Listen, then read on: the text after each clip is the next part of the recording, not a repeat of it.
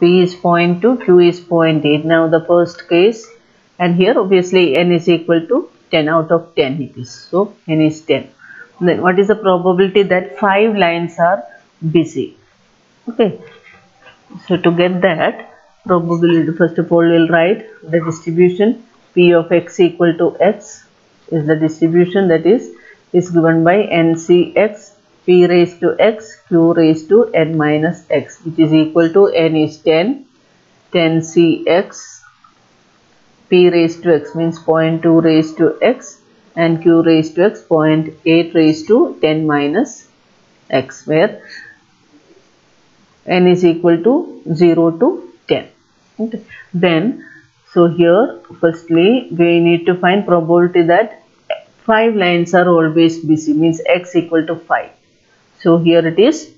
What to do is 10 c 5 x is 5 0 0.2 raised to 5 into 0 0.8 raised to 10 minus 5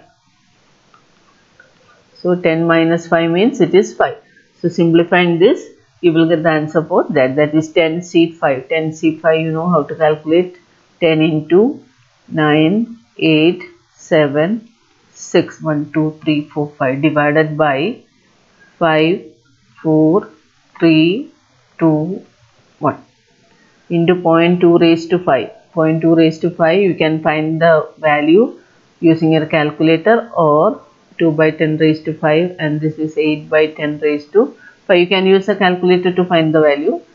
So here now this is equal to simplify this 5 2s are 10 3 3s are 9 4 2s are 8 so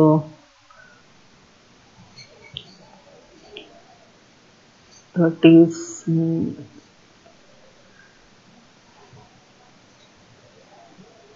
252 we'll get 252 here and then 2 by 10 raised to 5 and 8 by 10 raised to 5 or just 0.2 raised to 5 and 0.8 raised to 5 okay calculating that you will get the answer. So i'm leaving it for you. Then second is find the expected number of busy lines and also find the probability of this number. Means you need to find the expected number of busy lines. Means you have to find the average number of busy lines. So expected number of busy lines is given by expected number of busy lines means expectation of x we need to find which is equal to n into p. So n is 10, p is 0.2. So that is 2. Okay, so 2 will be always busy there and third we need to get probability that all lines are busy so probability that all lines are busy